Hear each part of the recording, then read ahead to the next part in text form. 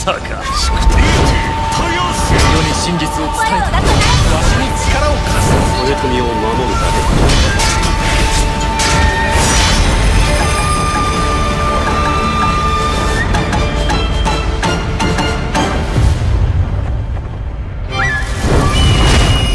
私はこの乱世を必ず生き抜いてみせるだから私は強くあらねばならない。俺は雪村様の忍びとして戦えることが誇らしい。真田は私が守り抜いてみせます。この真田の赤備えにかけて。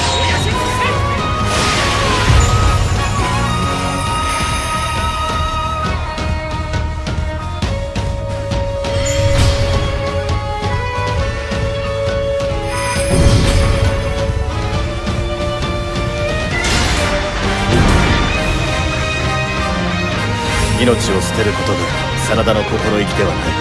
私はそう思う。それど押し通